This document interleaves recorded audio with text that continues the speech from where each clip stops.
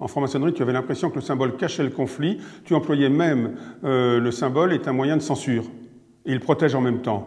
Voilà, je te donne tout ça parce que je me rappelle quand nous en parlions. Ouais, comme manière de protéger, bah, tu as dit fuite. Euh, La fuite est un mécanisme de défense. Ça veut dire que les symboles, puisqu'on est dans le monde de la raison, ça permet de se protéger. C'est Voilà, comme une sorte. Alors, tout à l'heure, je l'ai dit, intellectualisation, ratio, etc. La rationalisation est typiquement, et l'intellectualisation est typiquement structurelle quand on va aborder tout à l'heure la véritable structure d'une loge maçonnique, qui pour moi est une structure de type, et je pèse mes mots, de type obsessionnel, hein, de personnalité de type obsessionnel.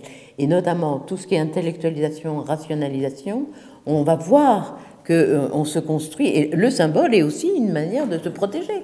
Donc se protéger est un mécanisme de C'est défense. ça, c'est ça. Dis Marilyn, tu dis une tenue. Pas, pas dans une, une loge, c'est le groupement de, de personnes. Le moment où ça se Ouais, déroule, la séance, c'est la tenue. Euh, Pour nos, nos éditeurs, si vous voulez initier, euh, ils comprendront mieux ce que tu veux dire par là. Daniel, comme vous voulez. J'apprends plein de choses. Mais oui, oui, non, mais c'est un sujet passionnant, Oui, et c'est un oui, livre donc, euh, passionnant. et- Je vous propose qu'on C'est un beau livre, très beau livre. Euh, justement-